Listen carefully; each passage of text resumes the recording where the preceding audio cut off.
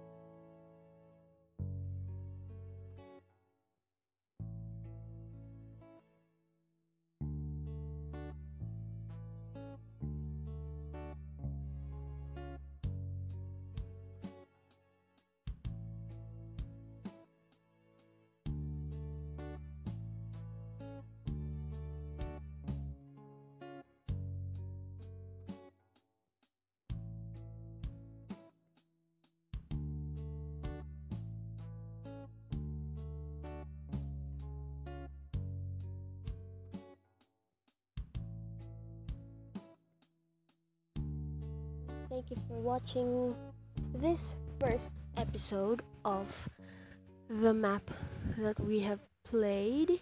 It's not finished yet. It's episode one, obviously. Um, Dreams of Luna. Make sure to leave a like, subscribe if you haven't, and look out for episode two of our playthrough, the map Dreams of Luna. That's all, everyone. Thanks for watching. I hope you have a great day. Drink lots of water, everybody.